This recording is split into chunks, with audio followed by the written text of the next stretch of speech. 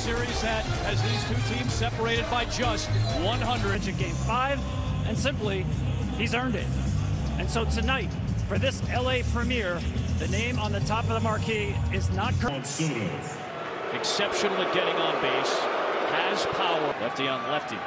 And he goes after the first pitch on a slow roller into the shift. And Wilson, Julio Urias just threw his 41st. Bellinger hitting nine. Yep. This year and tonight so far. Good pitch by Urias for a strike. Very much at all.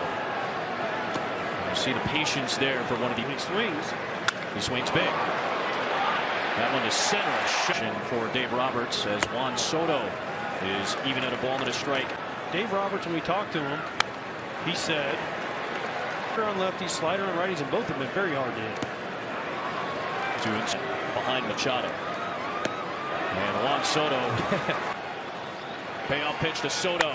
Ripped down the right field line, but foul. Payoff again. Ball outside. Hitting 333.